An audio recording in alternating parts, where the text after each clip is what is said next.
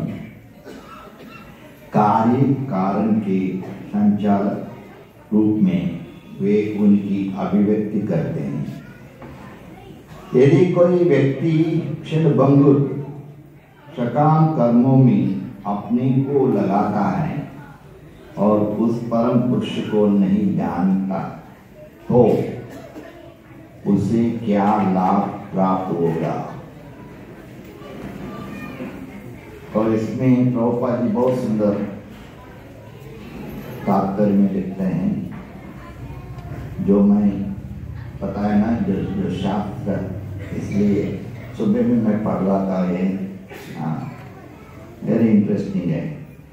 दार्शनिक तथा विज्ञानी आदि कारण खोजने के लिए पांडित्यपूर्ण शोधा करते हैं। किंतु उन्हें वैज्ञानिक ढंग से ऐसा करना चाहिए, किसी सनक में आकार नहीं ना ही विचित्र सिद्धांतों के माध्यम से ऐसा करना चाहिए।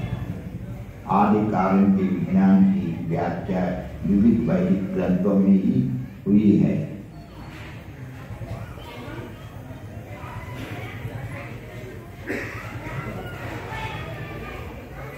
एक तो सत्रह